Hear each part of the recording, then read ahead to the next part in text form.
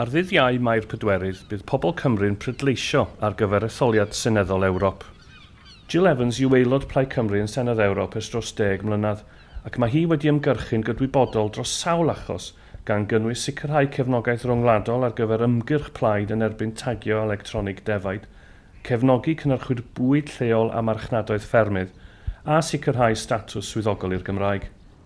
Fel aelod Plaid Cymru o Senedd Ewrop, dwi wedi cydweithio gyda'r pleidiau eraill i gael cydnabyddiaeth i'r iaithoedd lleiafrifol yn Ewrop, a'r iaithoedd sydd ddim yn iaithoedd swyddogol ar hyn o bryd. Ac ar ôl ymgyrchu yn hir, dyn ni wedi cael statws cyd-swyddogol i'r iaith Gymraeg.